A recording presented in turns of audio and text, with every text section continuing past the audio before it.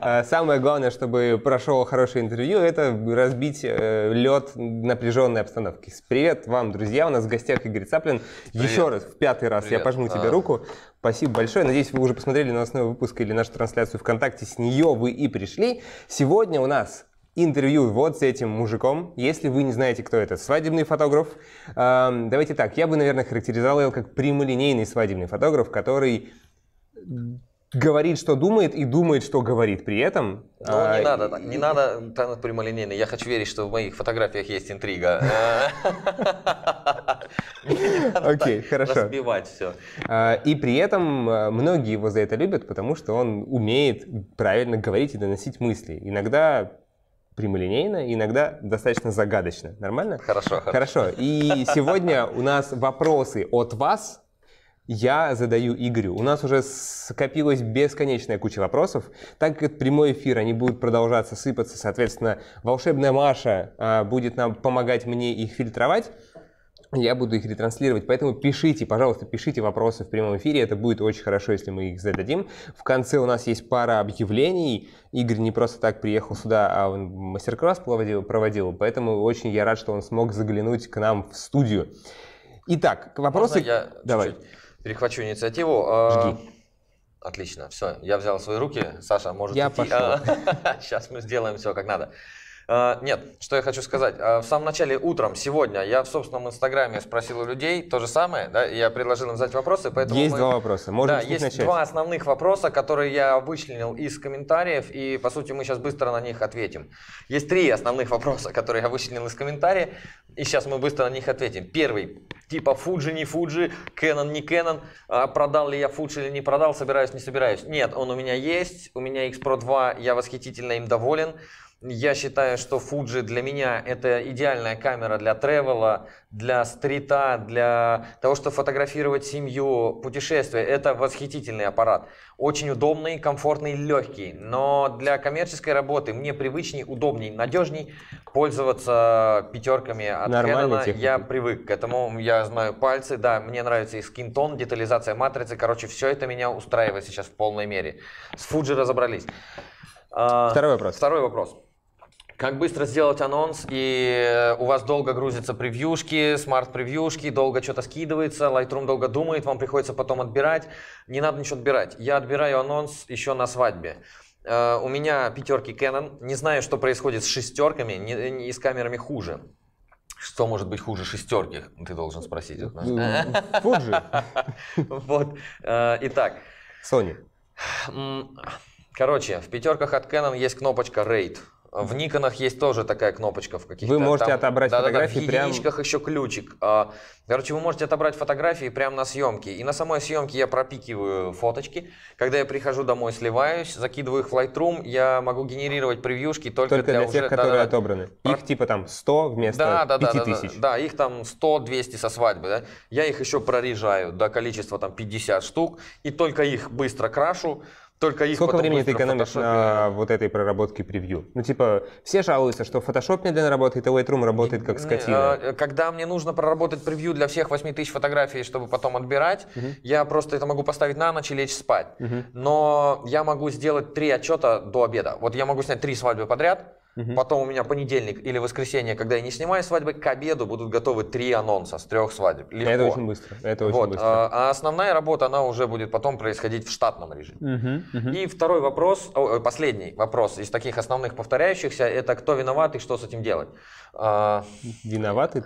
Ну, давай. Ну, Мне это как... жутко интересно. Расскажи. Нет, это такой, э, опять же, абстрактный очень вопрос. Не в смысле, кто виноват и что с этим делать, а в смысле, э, как заставить себя что-то делать. Вот а, так. Мотива... Это такой, вопрос мотивации. Вопрос мотивации. Вопрос мотивации. Да, вопрос мотивации. Э, лучше всего на этот вопрос ответил в свое время Артемий Лебедев. Я не читал, не слышал и не видел ответа лучше. Это никак оставайтесь в жопе. Это первый вариант. А второй Э, так Мне кажется, иначе... я предлагал чуть более лояльную версию. Э, э, но зато это понятно.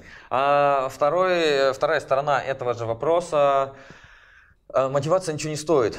Вы должны это понимать, что на одной мотивации далеко не уедешь. И, ну, так, к счастью, к великому счастью, если бы на одной мотивации можно было уехать очень далеко, мы все были бы прям миллионерами. Но я почему-то вот до сих пор им не стал. Да? И А, Я пошел. Я видимо, думал, ты меня видимо, нет. я плохо замотивирован.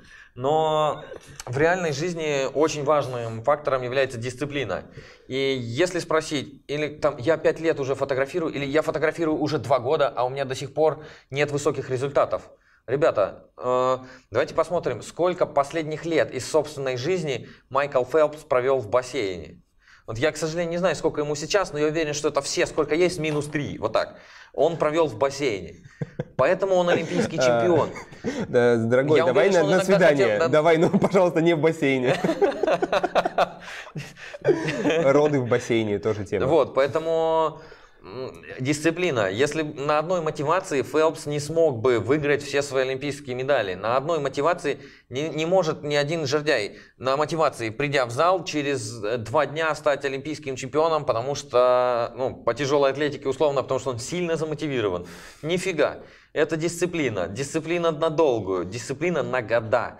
И это потрясающе.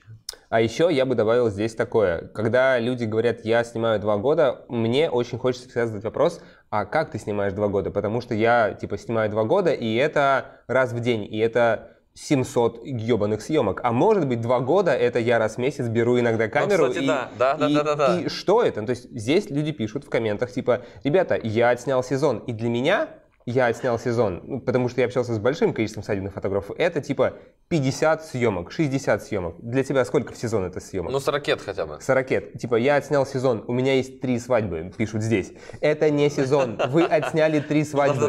Это это одна десятая сезона, одна девятая сезона. При всем моем уважении, э, мы еще к этому вопросу вернемся, но вы понимаете, что плотность очень важна, потому что это может быть, ну, типа, очень разбавленная такая жижа, не очень вкусная. Вот разбавленный кофе, отвратительная же херня. Вообще такое пойло. Вот, поэтому, пожалуйста, отдавайте и об этом себе отчет. Я полностью согласен, согласен про мотивацию. Итак, возвращаемся к вопросу, Да-да-да-да-да. который я только что был, потому что с него мы и начнем. Спрашивает Борис Калашов. Ситуация такая. Прошел мой первый сезон, отснял три полноценные свадьбы. Я, я не выдумываю это из головы, я читаю. Две из которых считаю достаточно конкурентными и порфолийными. Есть желание проходить по свадебным э, ивент-агентствам, попредлагать себя, э, что нужно делать, как отправлять письма, куда писать, в каком виде эти письма составлять для агентств, чтобы они тебя заметили после того, как ты отснял. Ничего три- не надо делать, не надо предлагать себя, потому что э, в агентство сыпется огромное количество писем от людей гораздо более опытных. И две свадьбы это вообще не, ну так или иначе, не результат, это не, не опыт. Давай так, может быть, что этот человек гений и отснял три охуенных свадьбы. Может, Почему ты ему советуешь, что не надо этого делать? это мало.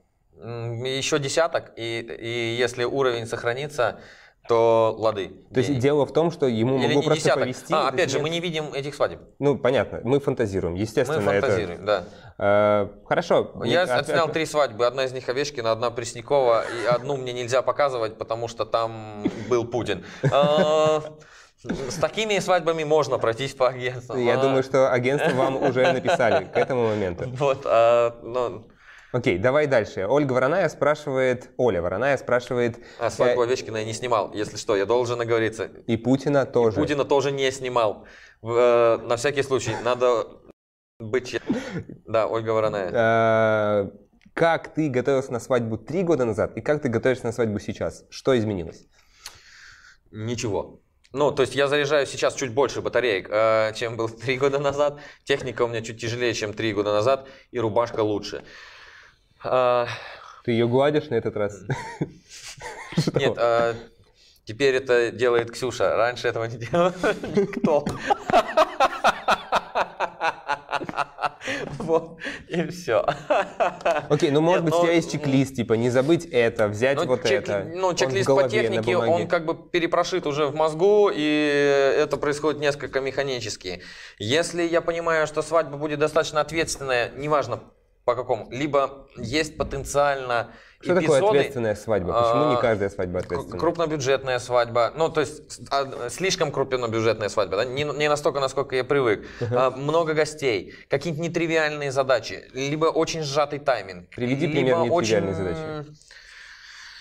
Несколько локаций, или там отснять всех, все 300 человек. Там еще что-нибудь. Я прям буду припасать какие-то моменты. Если невеста хочет какие-то кадры, которые она мне показывала до этого, я могу в Пинтересте пройти и просматривать эти вещи заранее. То есть я буду прям себе в голову записывать некоторую библиотеку картинок, Как которые мне Android, может, э, да, э, Я знал, ребят, расходимся.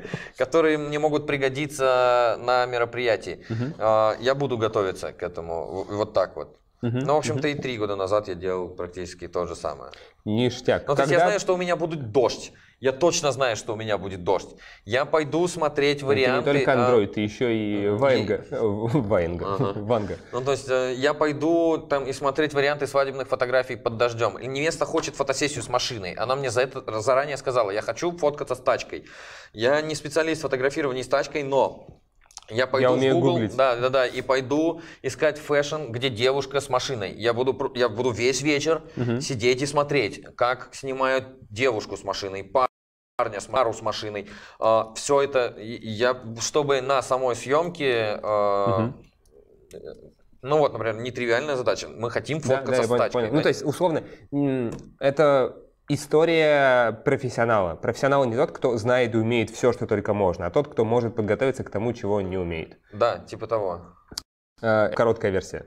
Ну, то есть, можно Мгм. приводить примеры из других отраслей, типа, если ты работаешь, не знаю, на мультипликации, не значит, что ты умеешь анимировать всех животных, значит, ты понимаешь, как, типа, анализировать животных, чтобы их потом анимировать. Например, любая другая, любой мультик Пиксара. Но Например. А, то же самое и со свадьбами. Если ты профессиональный фотограф, не значит, что ты умеешь делать все фотографии на свете, значит, что ты понимаешь, как подготовиться к какой-то сложной задаче. Игорь сейчас описал идеальный процесс подготовки. Итак, двигаем дальше. Пару технических вопросов. Их здесь всего три, я их просто сразу блоком задам. Мгм. Как ты настраиваешь баланс белого? Вручную, по пресетам, которые вшиты в камеру. Не по Кельвинам. Не по Кельвинам. По Кельвинам долго, а типа солнышко, тучка, домик, лампочка меня Ты при устраивает. обработке типа крутишь детальнее или поставил и В розетку не лезу. Ну, в розетку камеры Ага. не лезу. А в Lightroom уже, да, по ситуации, Ага, конечно. Окей, окей. Что у тебя за монитор? Не помню. А. Какой-то какой-то большой Dell. А, Не помню. 27 дюймов. да? 27. Так, эм, и есть технический вопрос, мне очень сложно его интерпретировать, но тем не менее. Бывает так, что при съемке в полный рост начинают дета- теряться детали в платье. Это что? Ну, типа, на лице все хорошо, а в платье плохо. Но вы промахнулись в экспозиции, значит. Окей, двигаем дальше. А, очень сложный вопрос сейчас будет. Нужно будет сконцентрироваться, что в голове придется держать 5 пунктов. Либо у вас фотоаппарат, кстати, плохой. Такой тоже может быть. Ну, типа маленький динамический Да, да, диапазон, да, но да. опять же мы не знаем, какой он там. Да, но мы не в кажется, курсе. Резкая, редкая проблема.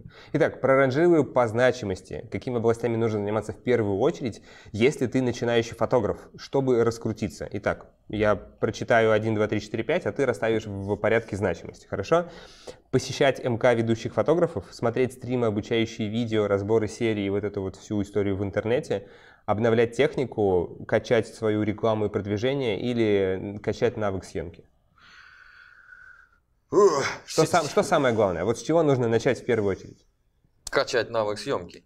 А теперь вопрос, как качать навык съемки. Я начал бы сначала смотреть все, что есть в бесплатном доступе. Это стримы, э, вебинары, разборы. Просто потому что не надо выходить никуда из дома, и у вас нет ни хрена отмазки. Я живу в маленьком городе, в нем всего 30 человек. У вас есть интернет, все. Вы живете в большом городе, заметьте. да. в любом городе теперь вы живете.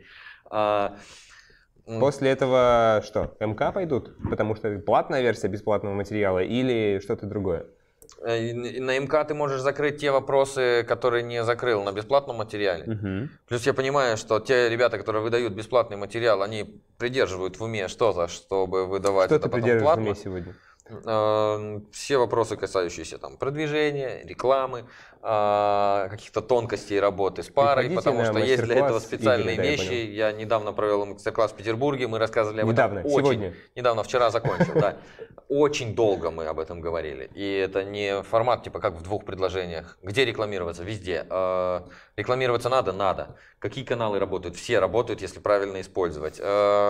Вот так. Ответ профессионала. Зацените.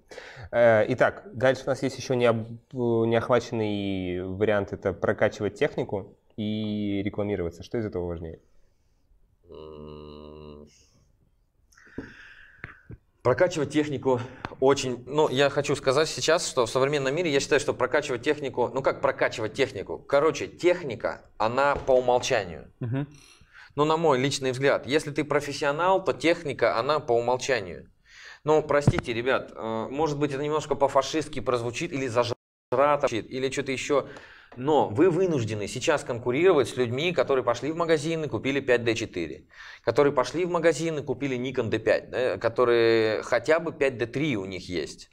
И вы не знаете, почему у них есть эти камеры. Вы не знаете, они заработали на них и купили, им подарила мама, они наработали на него ртом или другими отверстиями в своем теле. Я не могу предположить, какими конкретно. А, Возможно, фотографическими, но это не точно. Вот, поэтому, но так или иначе у них есть эта техника. И эта техника, она выдает базовый набор необходимых технических А давай так, данных, а да? где граница субъективно? Я понимаю, что мы обещали не разбирать такие вопросы, и я зарекаюсь после этого больше их не поднимать. Ну, ты сам его начал, Ага. поэтому твои проблемы. А Где начинается граница, после которой не стыдно? Что это? 5D3. 5D3. Да. Nikon это 750. Я вообще ну, 750 огонь. Вот, Окей. э, не знаю, ну шестерка, если прям совсем нет никаких вариантов, окей. Шестерка меня немножко смущает, но мне неудобные в ней кнопки. А там вот Окей, все понятно. 5D3, базарный день, 70 тысяч рублей.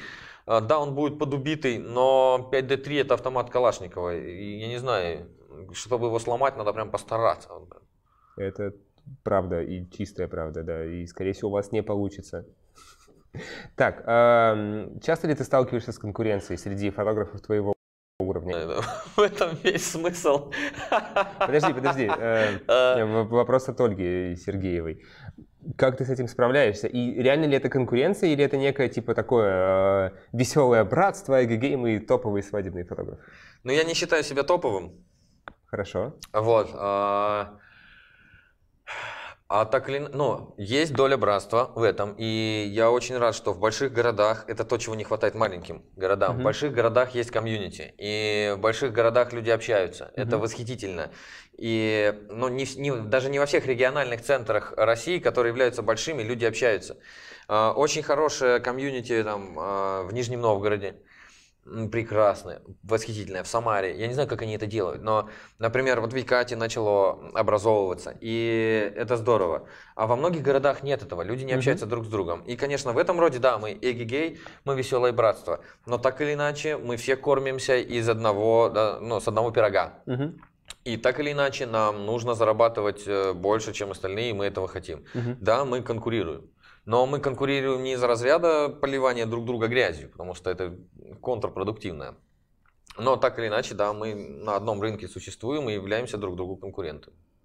Кто-то где-то с кем-то лучше общается, кто-то активнее рекламируется в Инстаграме, кто-то делает больше каких-то других вещей. Каждый по-своему выезжает, каждый старается найти как можно больше своих клиентов. Окей. Это нормально. Ты уже упоминал сегодня про дождь. А как ты готовишься к дождливым съемкам? Ну, типа, это насок на камеру, чтобы она не промокла, предупредить невесту, чтобы Ну, она однозначно, взяла- ребята, у нас про- про- ну, прогнозируется плохая погода. Нам надо что-то с этим делать. Есть варианты. Первое, ты говоришь об этом людям. Вот так такие, понимаю, вот да? такие, вот такие студии. Если вы не боитесь испачкать чуть-чуть платье, погнали в парк. Я люблю снимать в дождь в парке. Потому что в дождь в парках смывает всех туристов, смывает людей с колясками, снимает бабушек, смывает дворников в оранжевых жилетках. Короче, задник очищается максимально. Очень удобно. Вот, опять же, плюс никто в парке в дождь не старается играть в китайца. Вот, ну, то есть, да, Типа, о, солнце. да, да, да, да, да, да, да. Вот поэтому удобно, мне удобно. Это вопрос отчасти к невесте. Если Окей, она... а если она, ну, типа, ты, ты, ты предупреж- как ты предупреждаешь ее о том, что с ней будет после дождя? Да, с ней ничего не будет после дождя. Макияж, прическа, платье. Но есть зонтик. Мгм. Хорошо. Э, вот, зонтик я люблю, чтобы был просто черный. Мгм. Большой черный. Все. Мгм, мгм. Хорошо. чтобы не давал рефлексов гадких. Потому что белый моментально становится сиреневым от э, цвета неба, а черным можно еще отработать как светоформирующим, потому что ну, сделал Прикрой-ка вот так рефлексы свет слева, да? отсюда, да-да-да, прикрыл, получил боковой свет, как-то что-то еще. Короче, очень удобно прям. Окей, хорошо. Эм, много вопросов про позировку. Я выб- выцепил один актуальный, который, мне кажется, может... Но про позировку, и, ну, окей. Давай, я задам Да-да-да. его, потом развернем ответ. Э, можешь три принципа живой постановки от тебя? Быть живым самому, Окей, раз. не бояться это показывать. М, поясни. Э, Ну, внутри меня может быть буря эмоций, а я стою как дерево. Доп- допустим, два. э, Три? Будьте уверенными Мгм. в своих действиях. Ну, потому что вы можете, типа, я знаю, что в этот момент нужно сделать вот так, и не делаю. Мгм. Ну, то есть я знаю, что чтобы познакомиться с девушкой, мне нужно к ней подойти, и не подхожу. Э, Вот так. Ну, Ну, Хорошо, большинство окей. фотографов реально боится действовать. Мгм. Боится людей, боится действовать. Не бойтесь людей. Ну подожди, э, окей, я вот не боюсь, но я не знаю, что мне делать. Или люди... Ты думаешь реально, что все дело, то есть люди деревянные перед камерой, потому что фотограф сам... Я уверен в этом. Я, ну, на, на мастер-классах мы доказываем это практически. То есть это э, участники это сами чувствуют, Мгм. что это так. Не все, у некоторых все в порядке. Но Окей, давайте, окей. давайте честно, Ну, если то есть люди- начать нужно с себя. Да, начать нужно с себя. Подожди, э, позировку начать нужно с себя. Не кажется ли тебе это Нет, странно? позировку это из разряда как красиво сложить руки, я без понятия, я не умею. А, Видите, оно криво, я хотя это вполне себе fashion руки. Э, Согласны? А, Нет, еще можно fashion спазм. Вот так. А, Слушай, даже в fashion-съемках fashion-спазмы уже не очень. А, это я Год просто... назад. У меня устаревшая информация. Ты же свадебщик, что тебе? Вот, а, поэтому начать нужно с себя. Окей, я понял. А, ты сказал на мастер-классе. У тебя на мастер-классе большой блок об этом, к тебе нужно идти учиться. Идите учиться. А, И корова, и волчица, и жучок, и червячок. Дальше я забыл строчки из Айболита. И это хорошо, потому что тебя закончило нести. С позировкой мне вроде как все понятно. Э, Насколько... Я Ладно. стараюсь, смотри, а, а, на тему живой постановки. Мгм. Я стараюсь, чтобы людям было удобно, моделям было удобно, комфортно.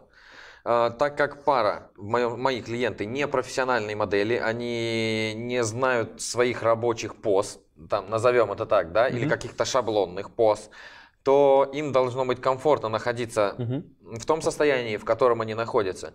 Поэтому я э, стараюсь так, чтобы их позы были максимально органичны и максимально удобны, прежде всего для модели. Мгм. Потому что если жениху неудобно стоять, как он стоит, или неудобно сидеть, как он сидит, то добиться в этой ситуации от него хоть какой-то вразумительной и ну, настоящей реакции Мгм. да, или дружелюбной реакции невозможно.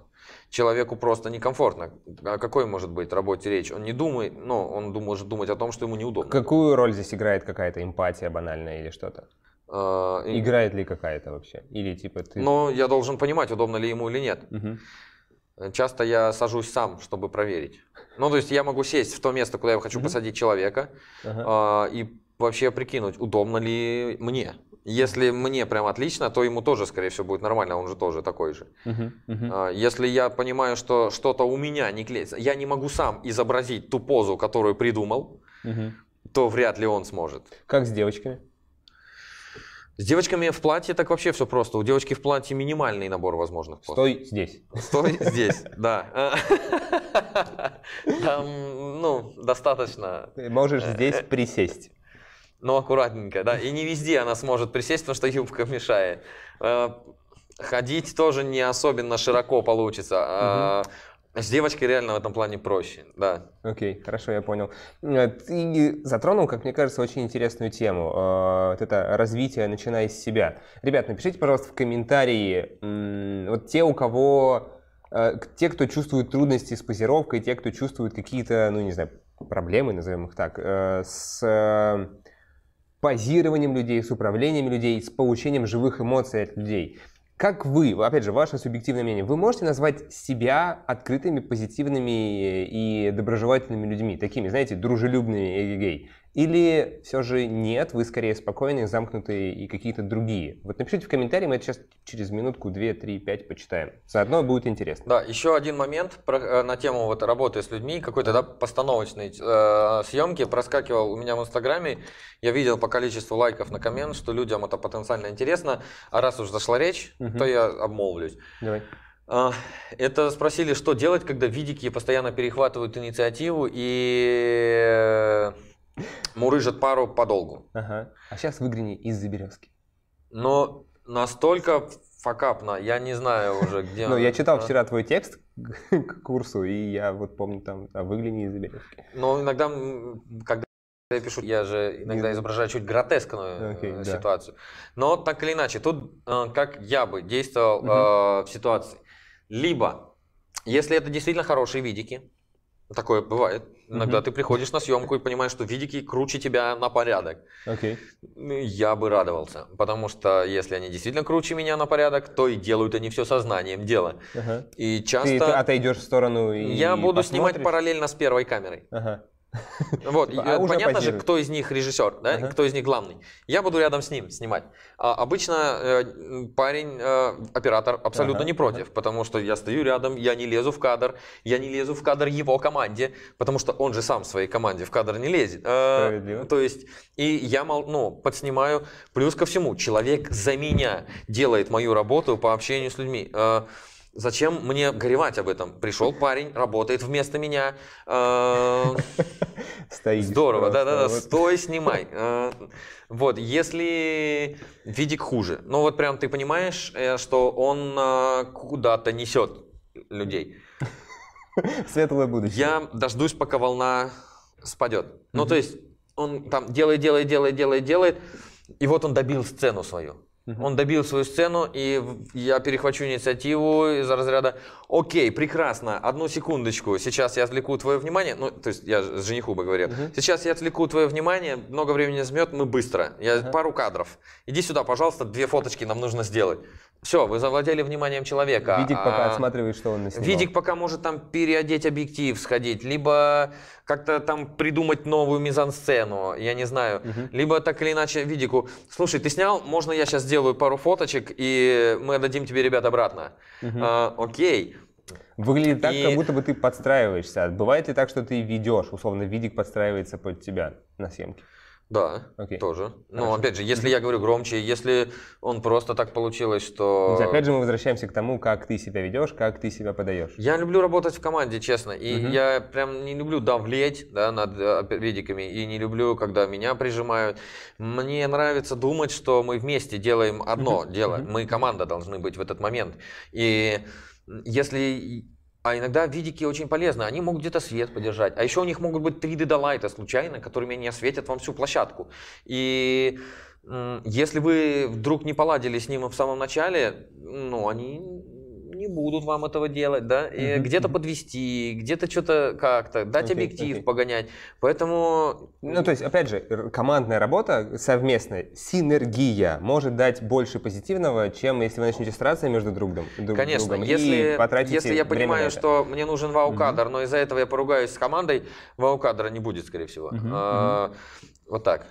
Я не буду ругаться с командой, мгм, потому мгм. что с этими видиками я могу встретиться еще не один раз на площадке. Ага. Эти видики могут сделать мне хороший сарафан или сделать плохой. А, Типа, о, вы цаплены? О, не, ребят, ну, мы просто не будем снимать Э, свадьбу. Да, А, и все такие, блин, а ним отказывается работать, странно. Это может быть. Э, Давай закроем тему видиков, что-то очень активно. Просто здесь были еще вопросы про видиков, и Ага. мне кажется, мы случайно на них ответили просто по ходу. А, Спасибо вам, что вы задаете вопросы. Кстати, нас сейчас смотрит 500 человек в прямом эфире. Это себе, это офигительно много, круто. много. Спасибо вам большое, что вы нас смотрите. Вы супер крутые. Мне Груз очень- очень- что-то Очень приятно, что вы пришли, нашли время в четверг вечером и решили нас послушать и задаете свои вопросы.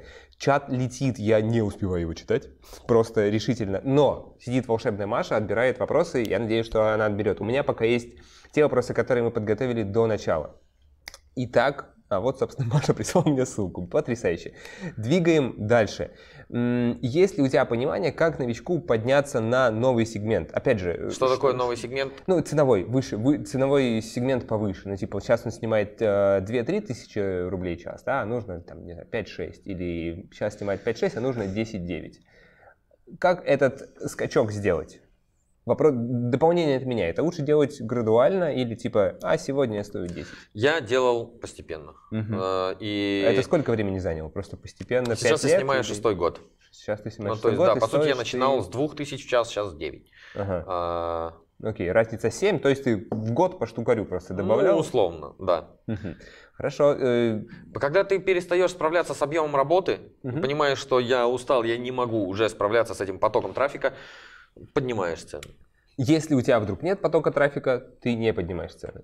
Или- Я генерирую поток трафика. Я, ну, то есть я перестаю думать про цены, надо генерировать трафик. Это важнее. А, потому что ты не можешь объек- объективно понять, стоишь ты этих денег или не стоишь, если нету трафика. Окей, соответственно, ты сидишь, ну, это гипотетическая ситуация, ты фотограф э, какого-нибудь города N, как Мгм. пишет э, Фотограф из города да, N, Да, да. фотограф из города N, и ты стоишь, ну, например, 3000 рублей в час, там, 2000 рублей в час. Это достаточно низкая цена, я не знаю, мне кажется, даже для регионов. Но Поправь меня, если я ошибаюсь. для разных регионов. Окей, в городе N это средняя цена, Окей, не высокая, да, да, не да. низкая. И ты понимаешь, что у тебя нет загрузки достаточной. Первое, что ты будешь делать, это организовывать себе набор людей Да, на, да. на тебя. И только если ты поймешь, что если ты можешь забить вот себя количеством людей, что ты не можешь их вывозить, ты поднимаешь цену. Да, если не да. можешь, а, то есть вместо съемок ты занимаешься продвижением. Это Да. правда? Или ты занимаешься не продвижением, а чем-то еще? Просто ты сказал, организуй поток. Что это значит? А, Я это делал в свое время через Яндекс Директ, э, через проплаченные посты в актуальных на то время пабликах. А, Покупал ну, приоритетные размещения на разных свадебных ресурсах. Это помогает. А, Помогало. Помогало. Но я уверен, что это и сейчас помогает. Мгм. Я делал все. Ну, то есть Яндекс Директ в свое время сделал мне очень много хороших вещей. Это очень дорого. Если грамотно делать, недорого. Хорошо, хорошо.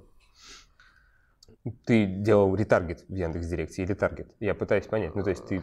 Я пользовался и RSA, Мгм. ну то есть А, э, окей, понятно. и самим, и самой поисковой выдачей, и всем-всем-всем, то есть Мгм. что мне давал, давали возможность. Я понял. Э, Запишите, что такое RSA, ребята, и погуглите. Ну, это сеть Яндекса, Да, где, где, Яндекса. где баннеры могут находиться на любых сайтах, но все э, настраиваются через э, кабинет Яндекса. Если вдруг вы хотите. Кстати, я, минутка рекламы. Два, две, две недели назад у нас проходила практика с девчонками из СММ-агентства «Еда». Они как раз говорили про контент и про продвижение в социальных сетях. Запись практики есть у нас на сайте в разделе «Практики». Вот там вот слева в менюшке, если вы вдруг на нашем сайте сейчас задаете нам вопросы. А, Там достаточно хорошо было рассказано про актуальные тренды и то, как это можно делать. Там без привязки к фотографам, то есть такая э, пища для ума может быть очень-очень полезная. А, И, кстати, еще мини-реклама. Если вдруг вы смотрели на нашем сайте курс Паши Гурова по SMM, то Паша две недели назад был у нас. Мы записали уже новую часть, и вот скоро тоже выйдет обновление для всех, кто уже купил этот курс. Он просто бесплатно для вас обновится. Плюс там будет еще один мини-курс, который отдельно будет продаваться. Двигаем Дальше. дальше. А, Суть, мне кажется, здесь ясна. А, Приехал ты в новый город. Как сделать так, чтобы тебя там узнали? Нужно ли ехать в город, когда тебя там не знают? Потому что год назад, а может быть два, здесь сидел э, Костя Еремеев, рассказывал свою историю, как он переехал из маленького города, и ключевой момент его истории, спойлер, если вы не смотрели, он сначала стал известен в этом городе, и только потом, когда слишком надоело ездить часто, он такой, окей, хрен с ним, я переезжаю в Петербург. А, твоя позиция по этому поводу? Примерно так же было, например, у Юли Франтовой, насколько я знаю. Они Мгм. просто перемотались и просто да, им им, надоело, да, переехать. да? А, Я становился известным сразу в Москве. Я переехал из Старого Оскола, и три, я сразу, я переезжал из Старого Оскола с мыслью, что я буду фотографировать, обязательно я буду фотографировать в Москве. Потому что на тот момент в Старом Осколе, это 2009 год, а, я был популярным парнем. Так вот, а, я переехал, значит, в Москву, такой весь на волне позитивности. Старый оскол, ёпта, это же это просто мощь. А, Сила, Если ты, да. да-да-да, если ты уж смог в Осколе, то... Погнали наших городских. Вот именно, Федя Емельяненко после того, как выиграл чемпионат мира по... Ну, какой чемпионат мира?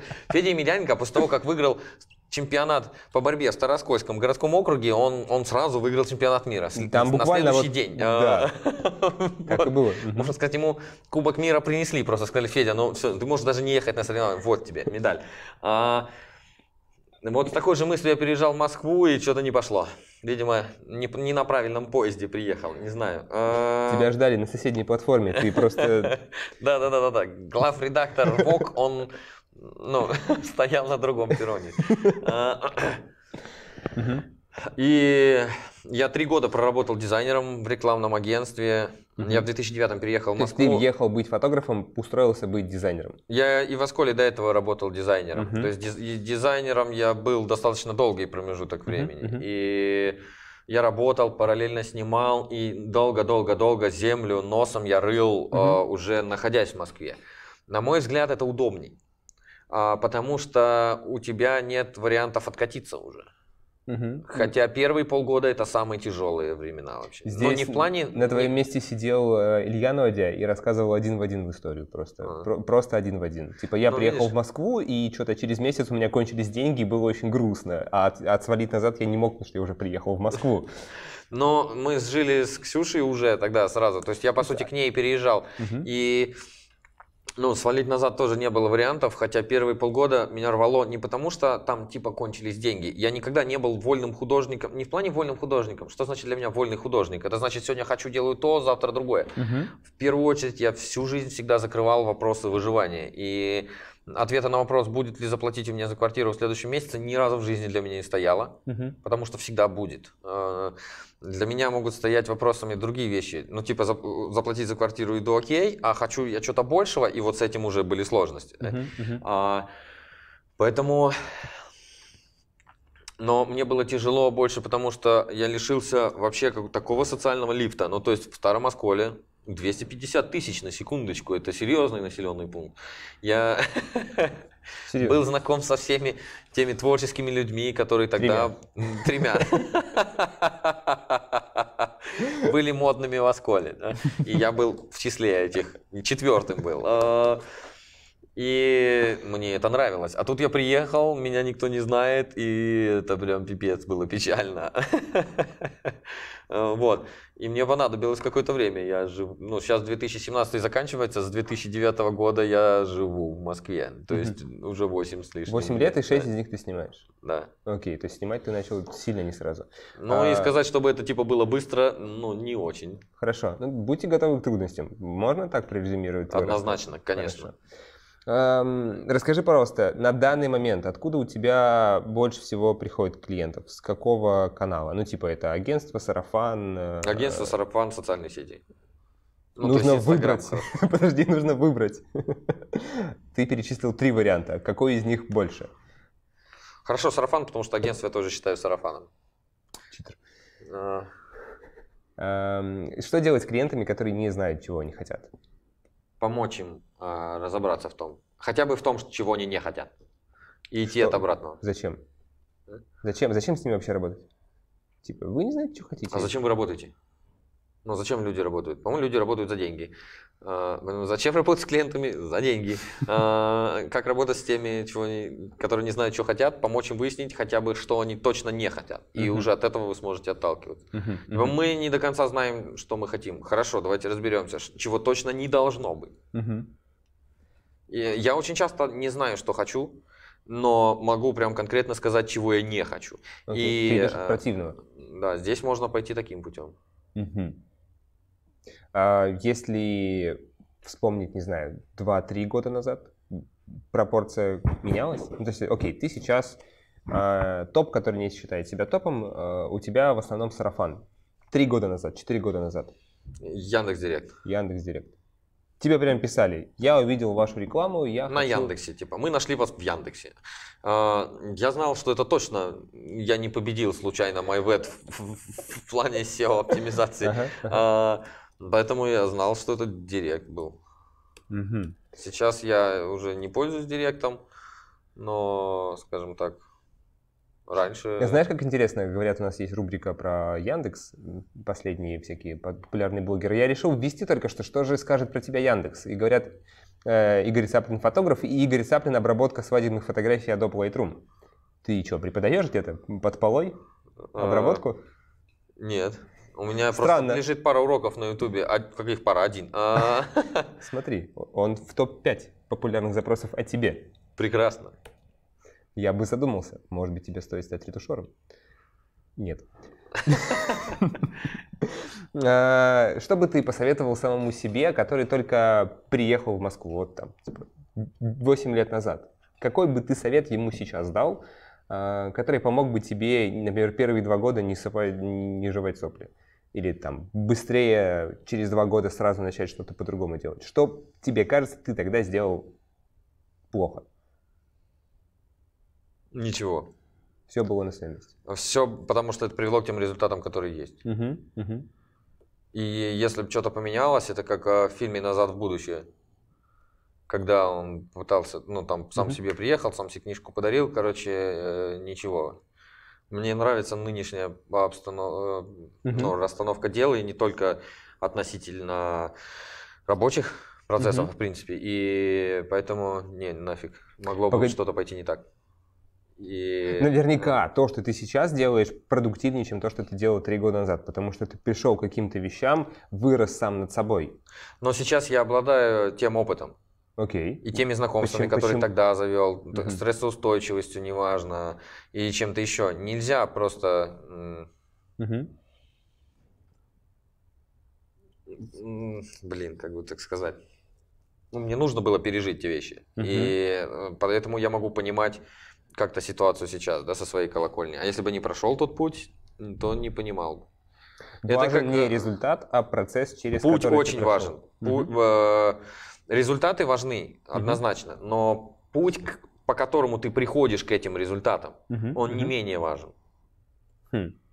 То есть, я попытаюсь резюмировать. Мы уже 40 минут с тобой общаемся. Я люблю, так как я дебил, запом- сам для себя, чтобы уловить э, суть разговора. Ты уже в 150 раз говоришь о том, что нужно расти над собой. Ну, то есть, условно, Мгм. как э, выбить интересную эмоцию или там получить живые фотки. Будьте живыми. Ну, типа, как мне там общаться нормально с видео, там, как сделать так, э, что мне делать с видиками, которые мудаки, не будь мудаком сам, да. И вот на каждый второй вопрос ты говоришь, а давай-ка ты, мальчик или девочка, просто будешь лучшей версией себя. И тут мы приходим к тому, что как стать лучшей версией себя, нужно пройти какой-то сложный путь. Неужели нету, типа, Проснусь завтра другим человеком. Да. К сожалению, у меня не получилось. Видимо, я дебил. А, э, это, это всего лишь э, резюме, и это не в смысле это плохо или правильно или неправильно. Я имею в виду, Нет, на- на- многие почему вещи, это- они только через практику познаются там. Как, Зачем тогда эти люди нас как смотрят хорошо... а, Как хорошо выступать на публику. Выступайте на публику. Так уж получилось, что... Как хорошо обрабатывать фотографии? Эм, Посмотрите на Амлабе, там много уроков. Я не умею обрабатывать фотографии, реально. Ребята, у меня есть ретушеры. А, И на тему, как быстро сдавать материал, как делать так, чтобы работа постоянно работалась, а, делегируйте. Делегируйте. Если вы не любите какие-то процессы или вы в них не сильны, делегируйте. Обработка не мое, честно. И я просто решил, что ладно, раз не прет, я буду отдавать, я буду платить людям за это деньги, но они это будут делать лучше меня. Э, Во-первых, лучше меня, а во-вторых, освобождая мне время для того, чтобы я занимался тем, что действительно хочу. Мгм. И это будет давать мне в свою очередь энергию Мгм. Мгм. для того, чтобы э, делать какие-то прикольные штуки. Потому что большинство фотографов постоянно находятся на свадьбе, круглосуточно. Но если у человека относительно нормальный сезон, он круглосуточно на свадьбе. Просто он пришел со свадьбы стоячей, где он ходил, снимал, Э, Пришел и в пришел в сидячую- сидячую свадьбу. И он, у него никогда не заканчивается свадьба. И в этом Праздники. потоке, круговороте, а, а далеко не каждая свадьба ему нравится. И он устает. Да? И это нормально совершенно. И в этом потоке ты начинаешь думать, а тем ли я занимаюсь, и почему у меня нет времени ни на что, и как же мне наконец начать стать счастливым. Раздай те задания, которые ты не хочешь делать, и тогда у тебя реально будет время на, на жизнь. Но у меня нету денег на это ретушер. В смысле, тебе же денег заплатили за свадьбу. Это вот оттуда голос шел. Тебе же денег заплатили за свадьбу. Поделись деньгами с другими людьми. А, и тогда тебе заплатят новые деньги. Короче, это прям все. Не надо пытаться быть как дракон. Нет, дракон Смаук. Смаук, это... да. Он на бабле сидел, но у него хотя бы было много бабла. А, а еще он был большой и сильный, и типа класть он хотел, но мне не окружающих.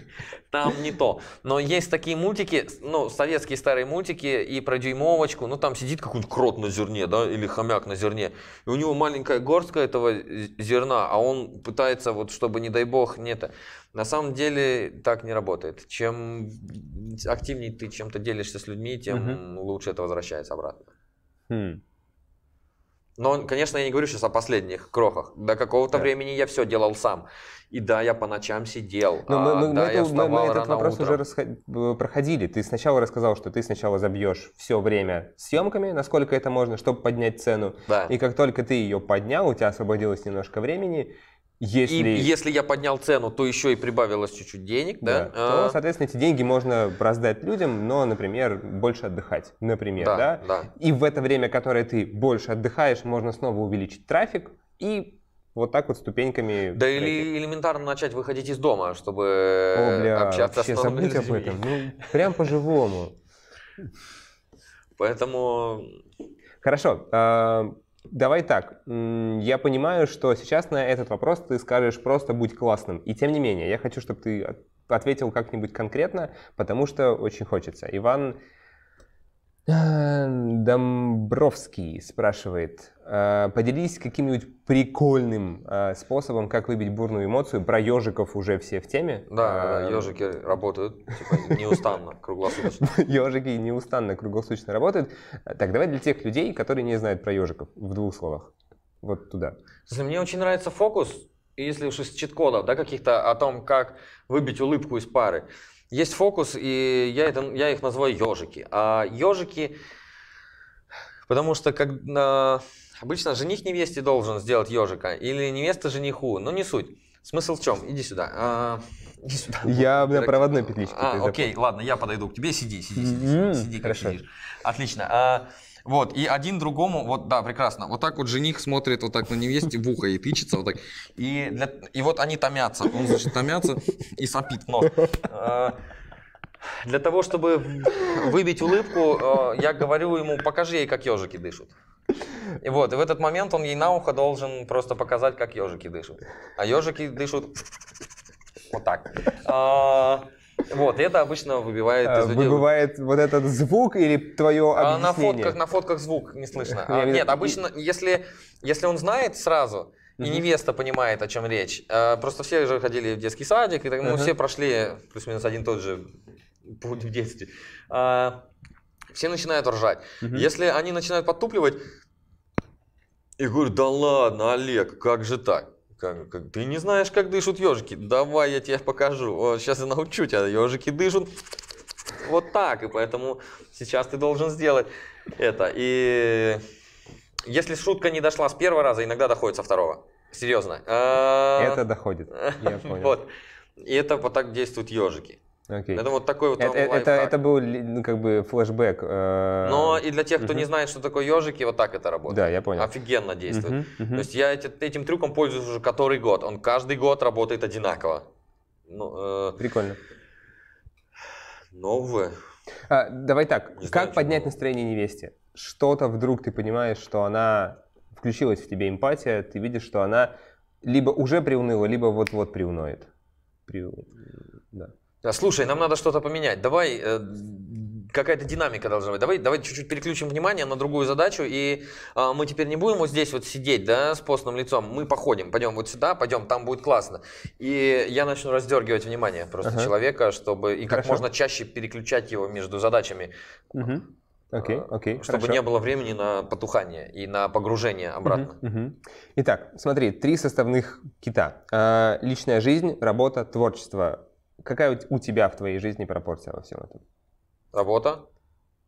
А, работа и творчество это одно и то же, я считаю. Мгм, мгм. Потому что, ну, что такое творчество? Тут мы, короче, можем еще 8 часов говорить на тему, просто что такое творчество.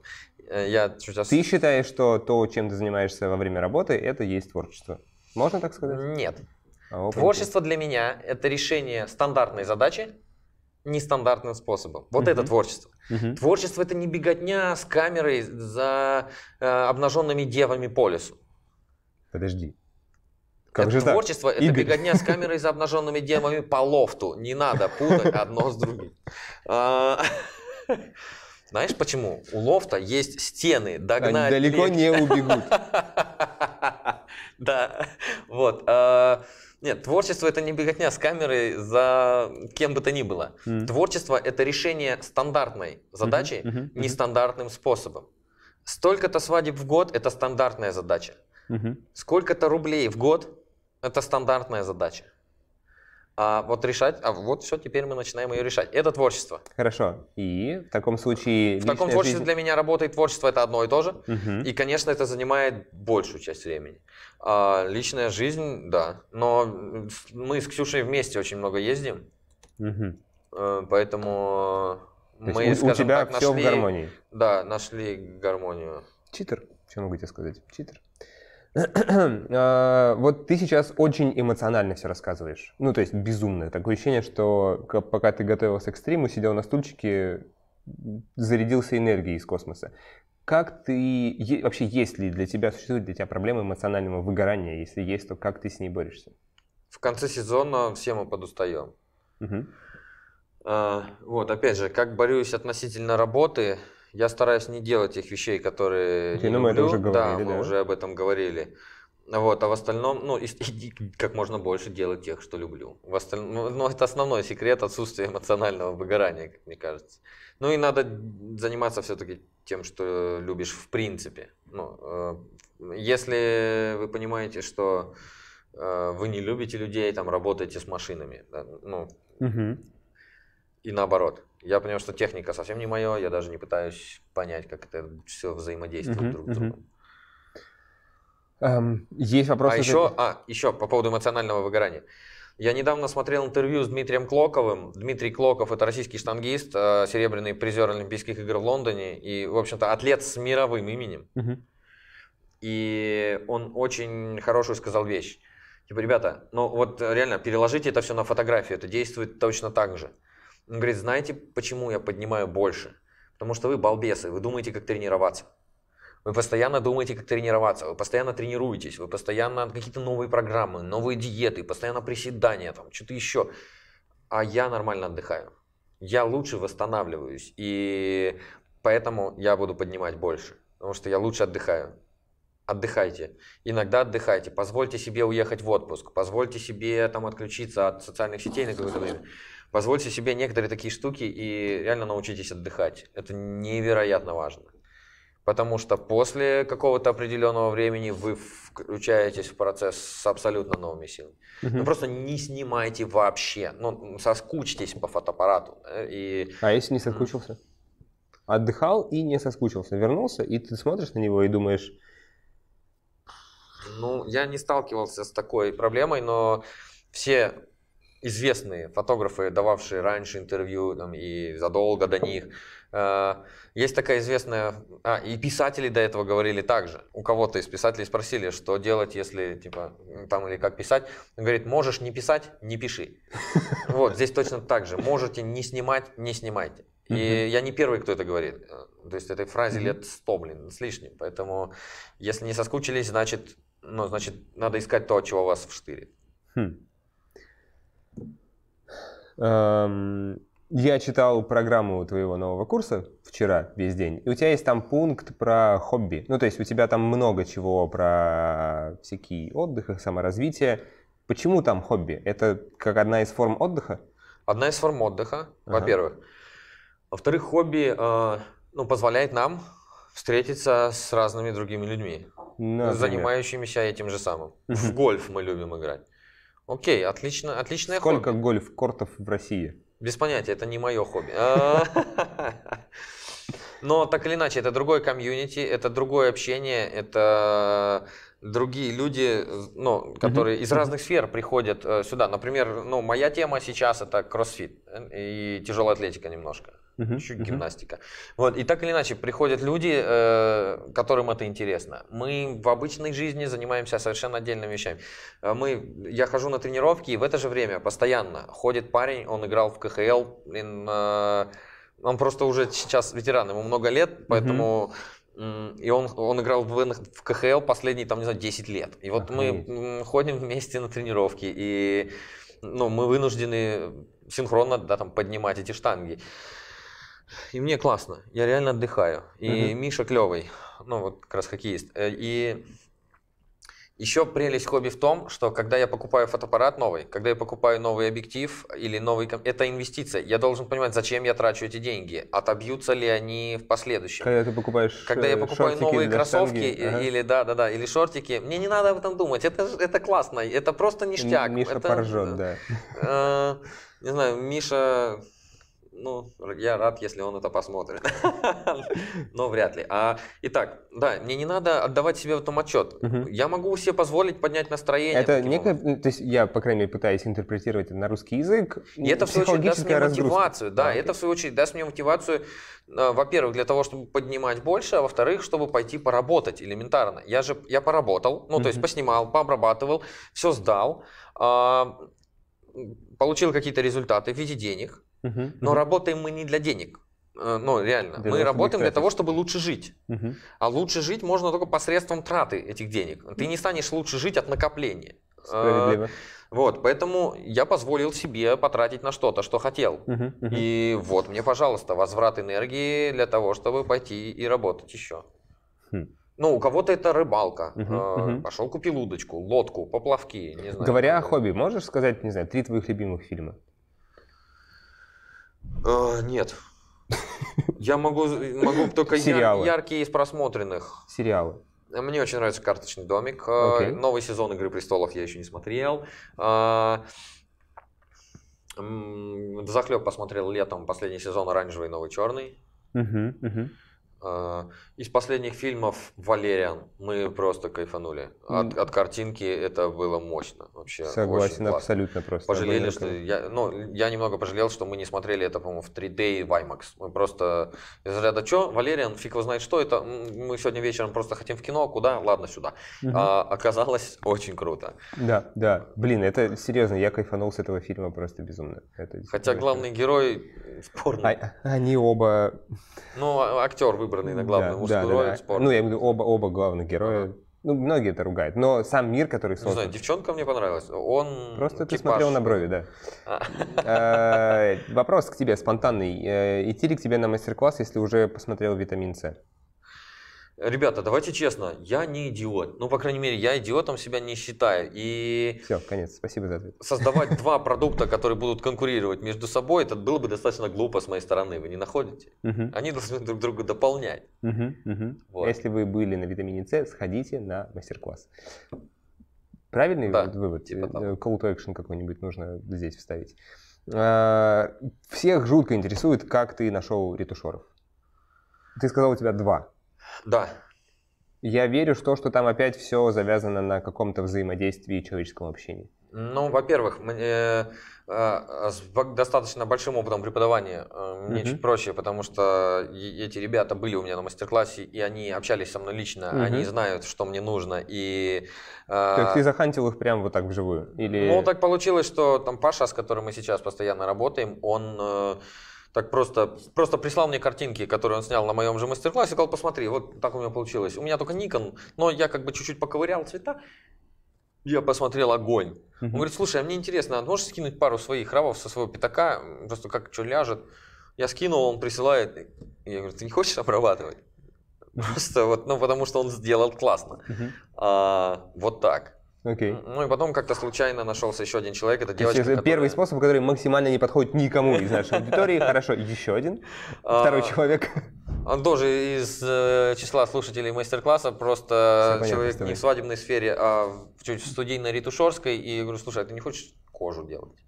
Вот, ну и давай. Я понял. Вот. А, что бы я советовал делать вообще в принципе? Ну, социальные сети у нас есть, поэтому я бы вам советовал искать через социальные сети. И Выбирая между искать ретушера и воспитывать, ты бы выбрал что? И все равно придется чуть-чуть переучивать человека и налаживать с ним взаимодействие. В Мгм. любом случае. Поэтому лучше найти того, кто уже хоть что-то понимает. Мгм. Это сильно сэкономит вам время. Потому что в процессе воспитания человек может понять, что это не его. Окей. Ну, да, в принципе, логично. А, сменю немножко тему. Эм, Когда ты приедешь в Северный Кавказ или Германию? Там не просто звали ни туда, ни в одно, ни в другое место, поэтому как позовете, мы все организуем. Мгм, мгм, Ну, то есть тогда запросто. Пока что мгм, мгм. приглашений не было. А незваный гость хуже татарина. А, Когда ты последний раз использовал, ой, использовал, участвовал в свадебном конкурсе? А, Если- Каждый если этой ворд я стараюсь участвовать в нем. Помимо моего. В других не участвовал. Окей. А, э, Когда последний раз побеждал? а, в финал попадал по отдельным номинациям. Мгм. Вот, не выигрывал ни разу. Вот. Хорошо. Где ты видишь, каким ты видишь развитие в свадебной э, сфере для себя? Быстрее, выше, сильнее. Быстрее, выше, сильнее? Э, Больше, дороже, лучше. Ну, подожди, это такой бесконечный процесс. Ну Какая-то да, конкрет- конечно. А какое тогда, какая финальная точка? Вообще есть у свадебного фотографа финальная точка? Типа, я дошел. Мне кажется, нет. Всем спасибо. Ни в одной сфере деятельности нет финальной точки. Иначе бы развитие давно остановилось. Я поясню.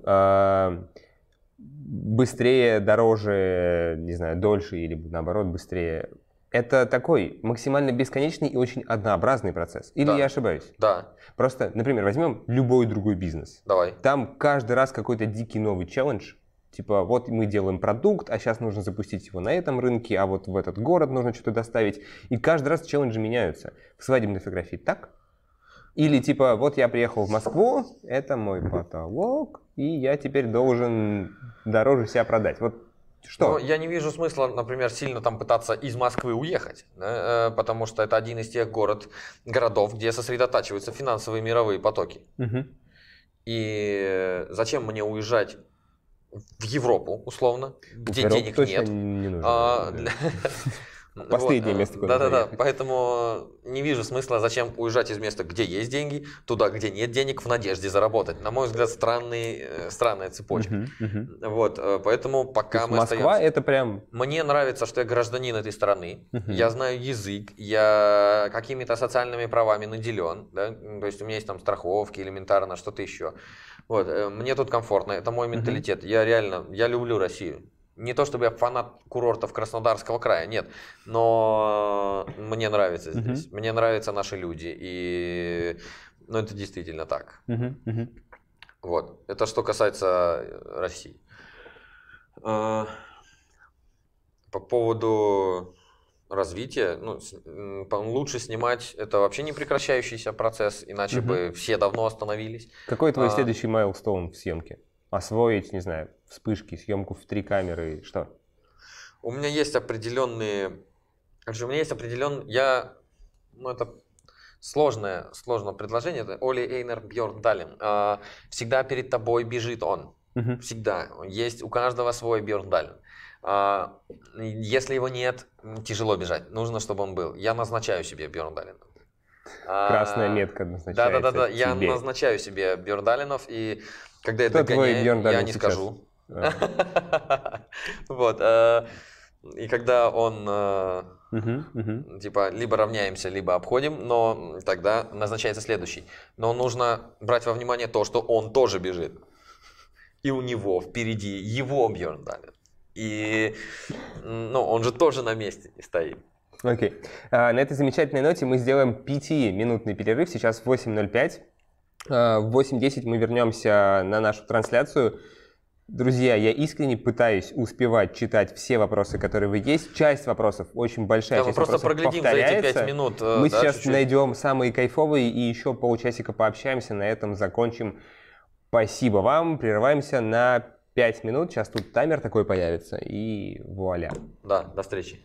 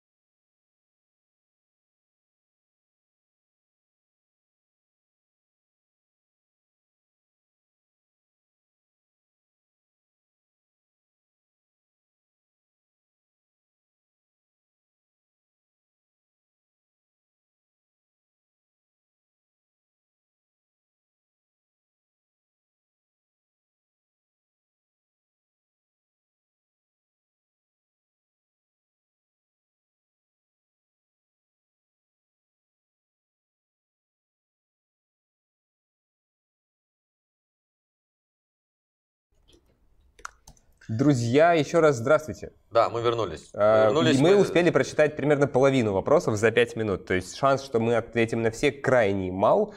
Однако это очень хорошо. Это значит, что вас интересует эта тема. И, блин, ребята, это реально очень приятно. Спасибо вам большое. Искренне. У нас есть вопросы. Я отобрал какую-то часть. Давай пойдем по ним.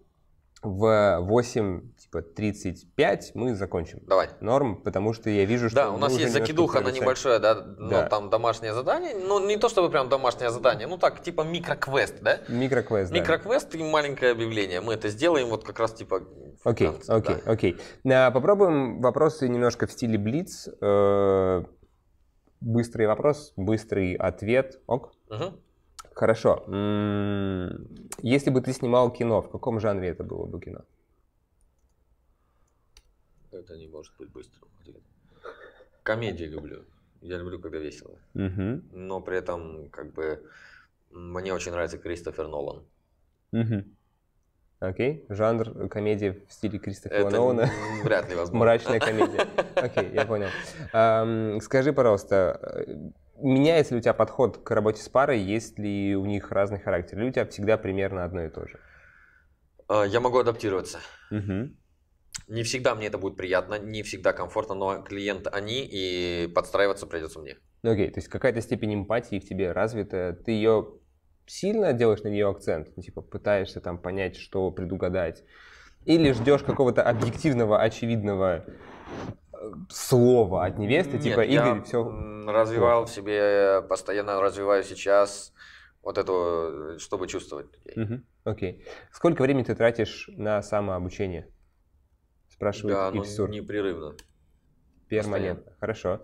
Эм, насколько важно для тебя передать характер пары, спрашивает Денис Полищук.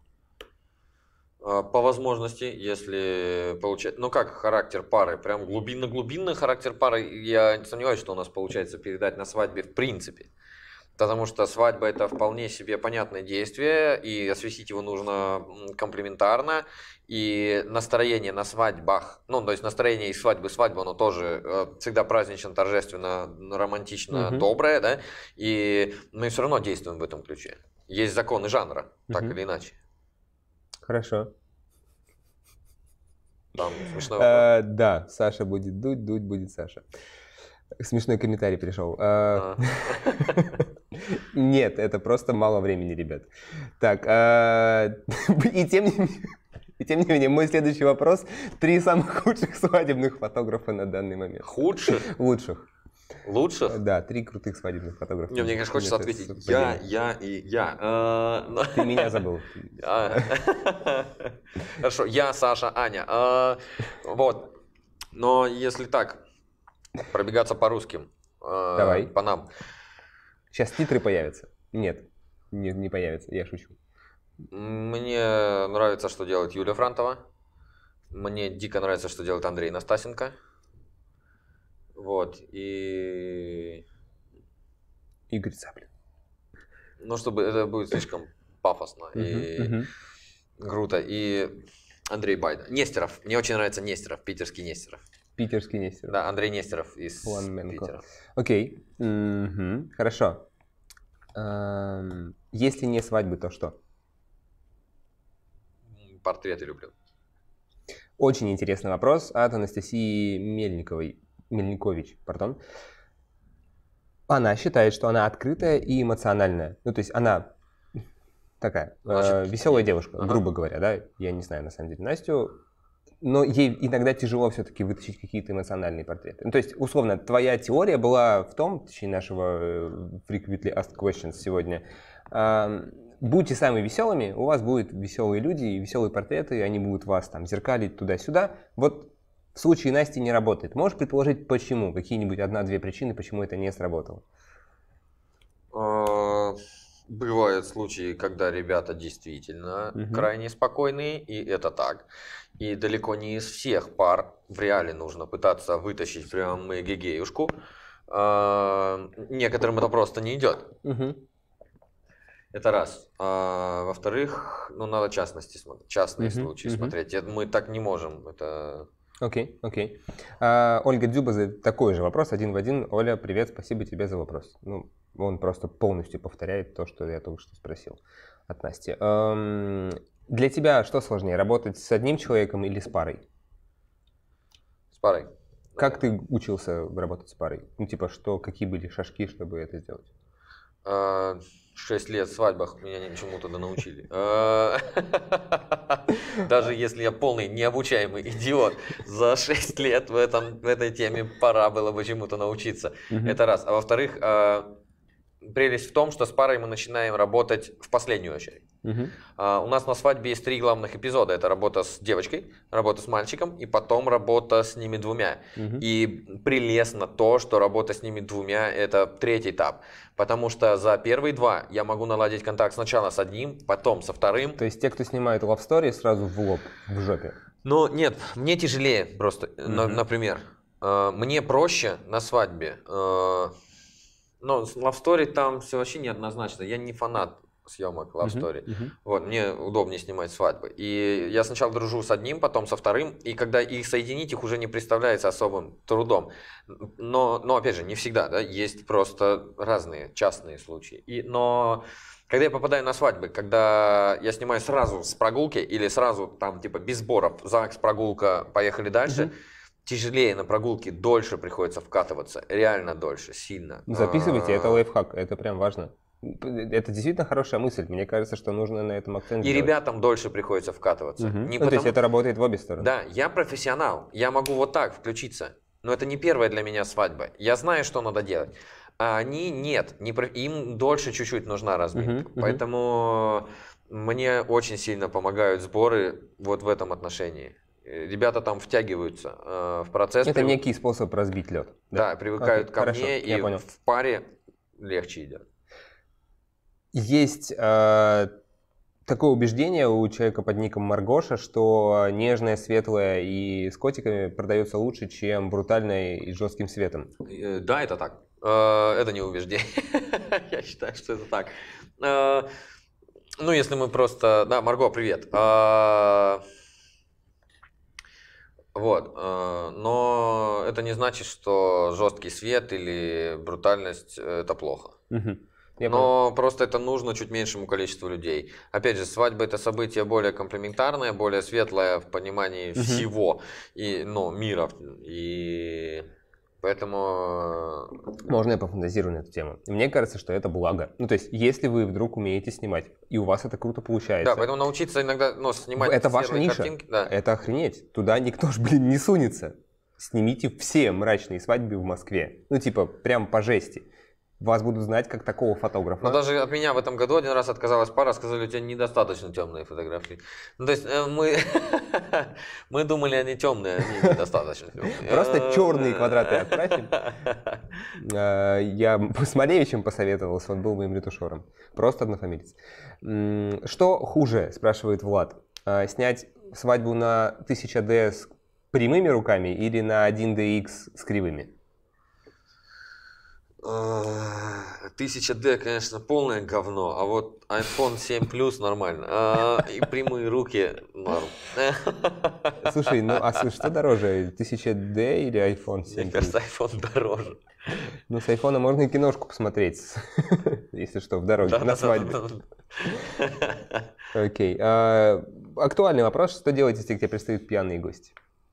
Как ты выкручиваешься из ситуации? Как ты выкрутился? Я парень, мне повезло. А, Нет, нет, нет, пьяные гости ко мне не пристают.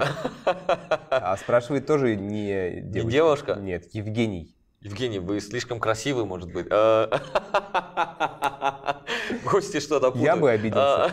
А, Ну, в смысле, типа, с фоткой вот так, с фоткой здесь, эй, слушай, здесь красивый фон.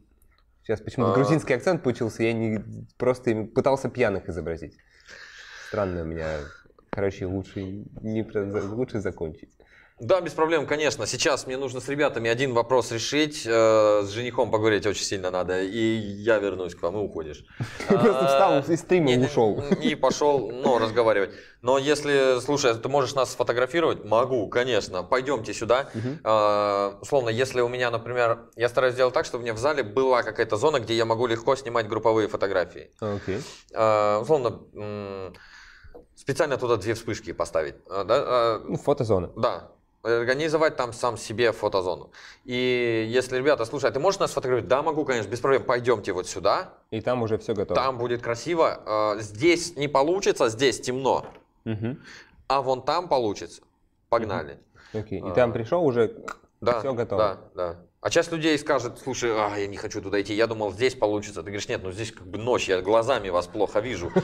Мужики, вы где? Мы здесь. не получится, да. Но если захотите, подходите еще раз, э, мы без проблем сделаем это вот там.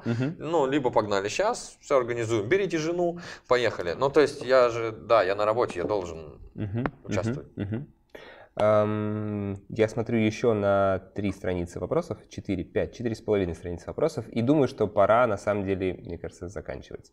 Потому что э, просто позвать тебя еще раз, я не знаю, ну, то есть это на три часа. Я пару вопросов еще постараюсь выцепить. Например, э, какое-то время назад, месяца, наверное, 2-3, э, Sony A9 в микромасштабах произвело какой-то там мини-фурор где-то, типа, и все такие, «А, свадьбы же теперь только на это нужно снимать. Что ты думаешь по этому поводу? Ничего не думаю, я в глаза не видел. Слышал про нее? Слышал. Неужели у тебя не было фантазии, типа, блин, прикольно было бы, если... что-то я... Типа, срать. Да. Зачем? Что, ну, не знаю. Я из тех, кто воспринимает новинки одним из последних. Когда уже все освоили, все баги пофиксили, Мгм. все, все адаптировано, все, все понятно. Вот тогда может быть. А, вот так нет. Я не очень быстро в- новые технологии вникаю. А, Так, я промедитирую немножко вопросы. Но Ну, мы тоже можем так в блиц-варианте. А, не, вот это в Блиц-варианте. Не, Не, смотри, не, не, не все, здесь- некоторые. Маша отбирала, и я что-то уже из этого большую часть спрашивал. Я ищу новые, выцепляю.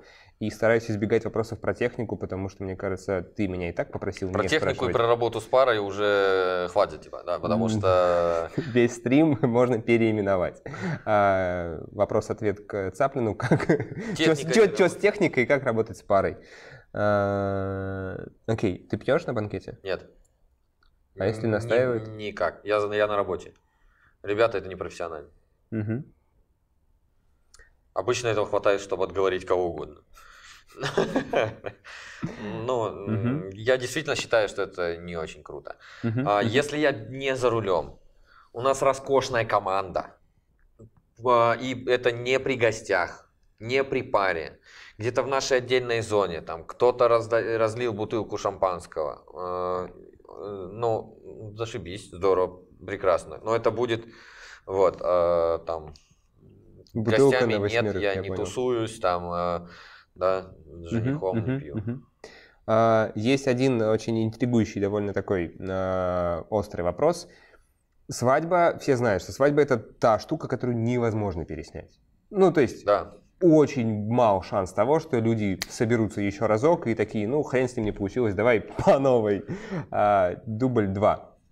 Были ли тебя недовольные заказчики, которые понимали это, оставались недостаточно счастливы от тех картинок, которые получили? А, Настолько нет, были вопросы, однозначно. мгм. А, Были те, которые там не были довольны в полной мере с первой попытки. А, Ну, то есть я сдал материал, Игорь, что-то не то. Но чуть-чуть на этом основана наша, наша микроигра Ага. в домашних заданиях, да? Да, да, да. Поэтому давай, может быть, сейчас- сразу к ней и перейдем. Это на самом деле, давай так. а, ты дашь свой ответ, и мы зададим задание. А смысл тогда? Типа, А я сейчас вам ты- дам ты- правильный ты- ответ, ты- а ты- вы ты- потом ты- ты- угадываете, Ты да? минус од- один правильный сделаешь. Или что? Так правильный ответ, ну я Один, ты считаю, что он в принципе один, да. Хорошо, давайте тогда, ребят, у нас есть для вас домашнее задание. Правильный ответ это довольный клиент. А, Ну, вот это правильный ответ. И он один. Довольный клиент, но он не бывает по-разному. Окей, Все, хорошо, довольный клиент. хорошо. А, это не домашнее задание, это игра. Давайте попробуем э, по фану. У нас сегодня 600 человек, замечательно, очень круто. Будет много вариантов. Я надеюсь, что мы успеем все прочитать. Будет больше времени, успеем. Итак, Эм, Комменты на ютубе. Да, нужно будет под этим роликом, если вы смотрите в записи, то как бы все понятно. Ребята, которые сейчас нас смотрят в прямом эфире, дождитесь конца стрима, он через 3 минуты там обновится и превратится из трансляции в запись. И под записью можно будет в комменты писать, пожалуйста, очень вас прошу. А, мне кажется, это может быть весело. Итак, ситуация. Вам нужно будет решить ситуацию, написать нам, что в ней делать. Мы посмотрим разные варианты и поймем, как вообще люди ведут себя, вы сможете увидеть много других вариантов. Мы подумали, что может быть очень круто и прикольно, потому что, во-первых, можно поучиться, можно как бы мозг поразмять, если вы в такую ситуацию не попадали. А в-третьих, э, ну, похвастаться перед другом, что вы ответили лучше, чем Ну, он. либо посписать ответы у других и понять, ну, что да, делать, да, что-то новое если узнать. случится, а Итак, а случится обязательно. Ситуация. Ты опишешь, я. Ну, давай, я начну, Окей. а там посмотрим. Есть идеальная пара, которые ваши фанаты. Да, э, ситуация заданная э, вот такая. Э, Вы пришли на встречу, у вас невеста, она очень любит ваши фотографии, ваша фанатка, жених ок. Ну, то есть ему не принципиально, он не против. Вот так, да. Вы понимаете, что свадьба будет офигенной, что ребята огонь. Вы приходите на свадьбу, заряженные на позитив, и все действительно проходит огонь. Это вы сейчас думаете, где драма? А, Вы довольны результатом своей работы. Действительно, вы считаете, что сделали круто. Вы сдаете материал, и он не нравится заказчику. Мгм. Что делать? И вот об этом давайте устроим дискуссию в комментах. А они вам на пишут. А, простите, Игорь, вы знаете, Мы фотки ожидали не другого, Мы да, фотки не очень, мы ожидали совершенно другого. что вы ответите и как вы ответите Да, и как вы куда вы развивать ответите. ситуацию, да. что, что вы будете делать? Я специально стараюсь избегать подсказок. В общем, напишите подробный план действий, включая те фразы, которые вы будете доносить до людей. Да, именно. Мне кажется, это может быть прикольно и интересно. И- А, тут два варианта, опять же, вы можете делать это серьезно, ну вот прям серьезно, э, а можете ржачно. И, ну не факт, что прикалываться хуже, но на самом деле тогда мы все поржем. Окей, э, Мы пока для, для решим- баранов, если, если вдруг вы решите э, ироничный, ироничный, не, не, ир- обратился? да, к зрителю, если вдруг вы решите написать смешной рассказ, то для баранов сделайте в конце пометку, что это была ирония. А, окей. Э, Для а, баранов, ну, которые будут Исполнено читать. профессионалами, не повторять на живых людях. Вот, э, да-да-да, для баранов, которые будут читать, потому что вы не можете, не можете отвечать за тех людей, кто прочтет. Вы не можете отвечать за их действия потом, а виноваты будете вы. Поэтому, ну, в конце, типа, исполнено профессионалами, не повторять на живых людях, что-нибудь в этом духе. Я очень буду рад смешным историям, на самом деле. А, Котики вернутся в 2018 году? Не знаю еще. Не думал об этом. Хорошо, хорошо, хорошо. Итак, еще раз. Написать в комментах под этой записью. Все, кто смотрит на сейчас трансляции, все 500 человек. Ребят, во-первых, у меня к вам просьба. Я вижу, что вас 571, а это я вот так 600 округлял. А 157 лайков. И я, у меня есть подозрение, что вам могло понравиться то действие, которое происходило. Я действительно пару раз сказал матом, абсолютно на автомате. Спасибо, что поправили меня. Я действительно учу- уч- учусь быть...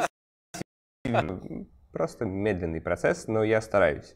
Ам, Нажмите нам на вот такой вот пальцем, нам будет приятно, мы поймем, что надо продолжать. Как вы заметили, трансляции идут все реже и реже, потому что ну, все реже и реже нас просят что-то делать. Однако я вижу, что да, это нужно людям, они, черт побери, хотят приходить и делать, задавать вопросы. Это здорово.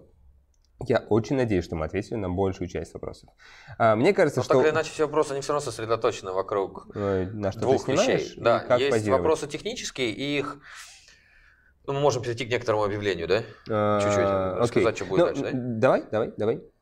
По поводу лаборатории, а, мастерской, вот. Неважно, не думайте, бутик, будем называть это модным словом. А, Давай, давай.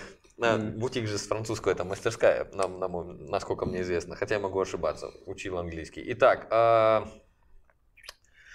значит, а, основная часть вопросов сосредоточена вокруг двух сфер. Всегда. Это техника, типа на что снимаешь, люблю железки, а, я фанат железок. Так вот, э, я знаю, что вы с Лехой Гайдиным записали, или почти записали, это вот, Уже- вот на уже стадии прям финалочки, да? Да, да, Курс да. на тему миллиарда вспышек.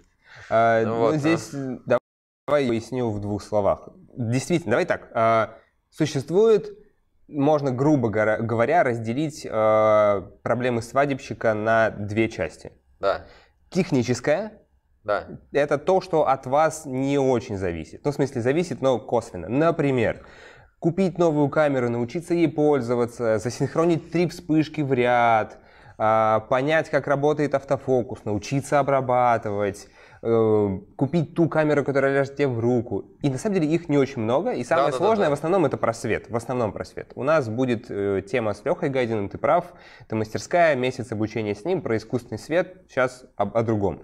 Есть второй тип проблем. И на самом деле он охватывает сильно большее количество проблем, но центр, людей, всег- да. центр всегда в одном и том же месте. Это вы сами. Ну, то есть не вы сами умение говорить или вы сами, как вы выглядите, а вообще, в принципе, ваша подача, осознание Но себя. не, не, как- ты чуть-чуть увел. А, Окей, давай. а, Проблема, ты озвучил реальную проблему, так неправильно делать. А, Я тебя потом научу, как надо. А, Надо Хорошо. озвучивать видимую проблему. Видимая проблема – это пара. Видимая проблема – это общение с парой. Справедливо. Да, видимая проблема – это то, что есть сложности с раскачкой ребят. Мгм. Да, Вот, ну, и- этот вопрос сегодня да-да-да. прозвучал Этот 145 вопрос ну, раз. топ номер один. Да? А, И вот этим мы займемся.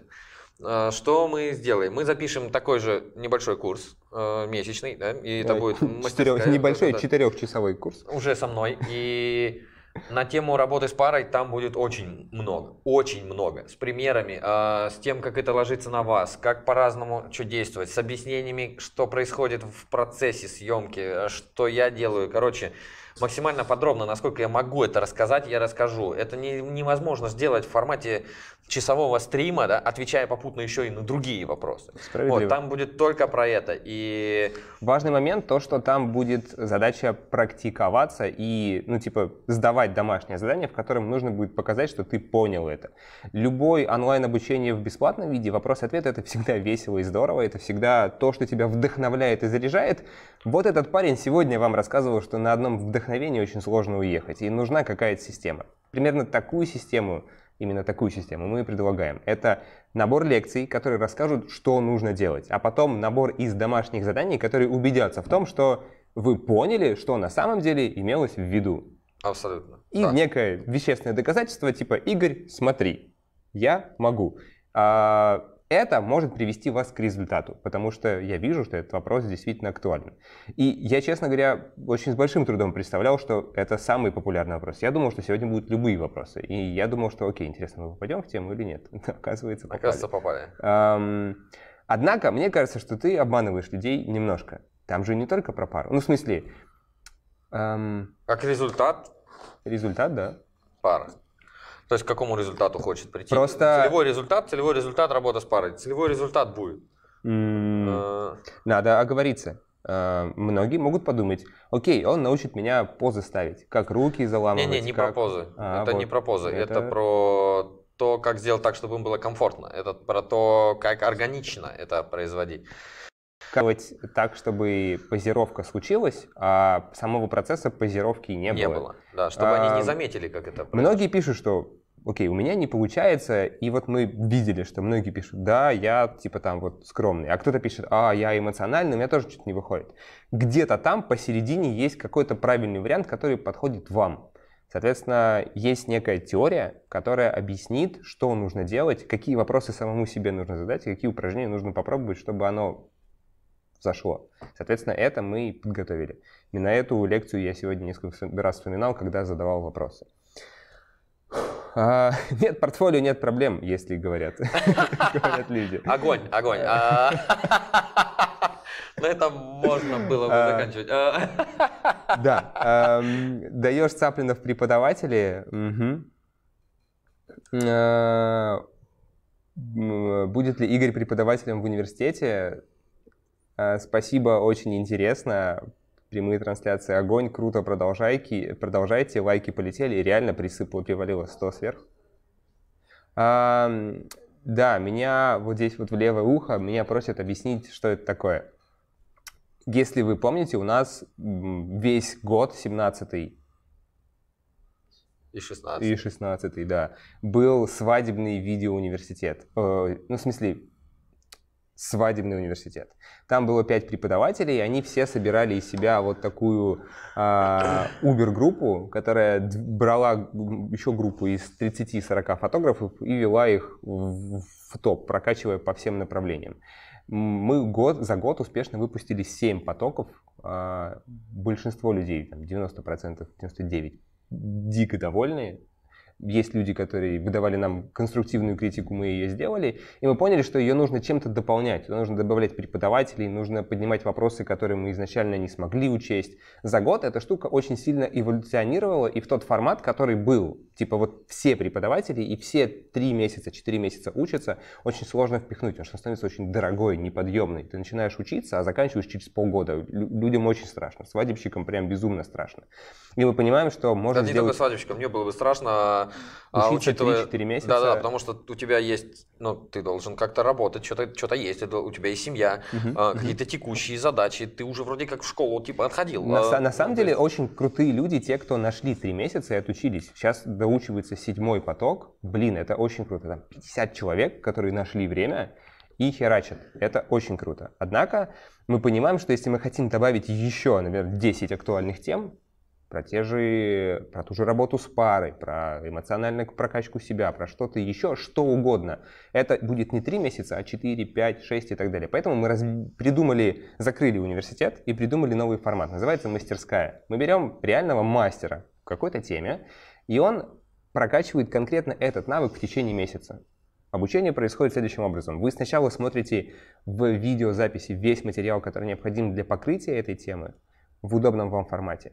И после этого делаете домашнее задание, и преподаватель в прямом эфире разбирает домашки всей группы. Потом вы получаете новое домашнее задание, потом снова в прямом эфире с возможностью задать вопросы вы проверяете, преподаватель проверяет домашки, вы задаете вопросы. Э, потом большая курсовая работа, и пока вы готовите большую курсовую сложную работу, есть еще сессия вопрос-ответ и еще одна встреча на свободную тему, она в каждой мастерской немножко своя.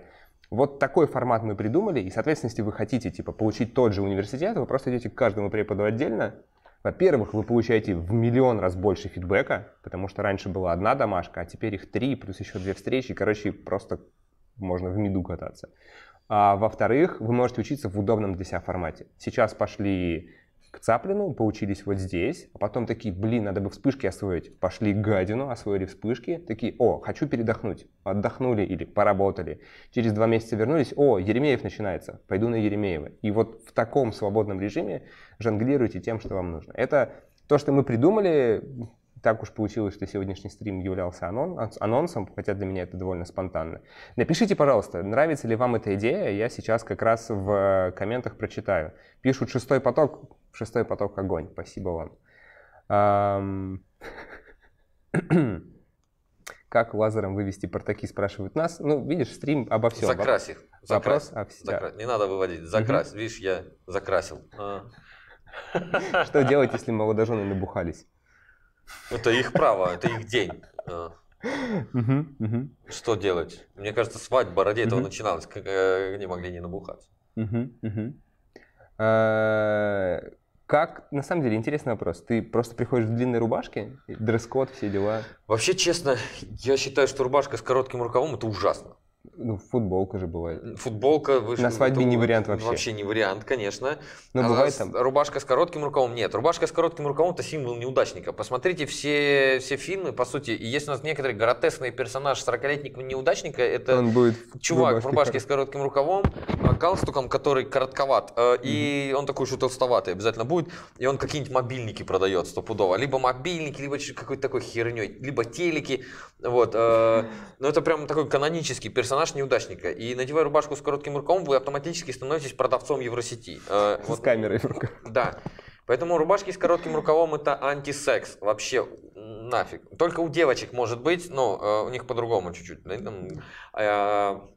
неведомы мне эти вещи. А с парнями однозначно, поэтому нах.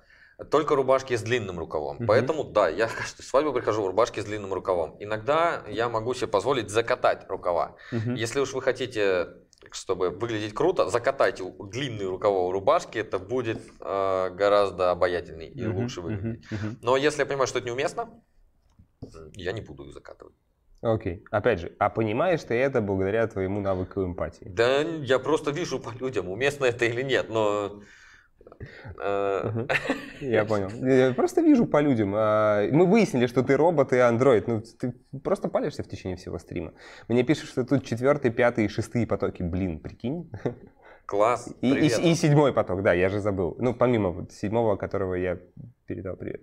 Очень круто. Блин, охренеть, ребята. А, то есть у нас нет новых зрителей. У нас есть четвертый, А, пятый, Ну, они же пришли частично. Ну, кстати, да, это очень круто, что все пришли сюда посмотреть. Это, блин, очень круто.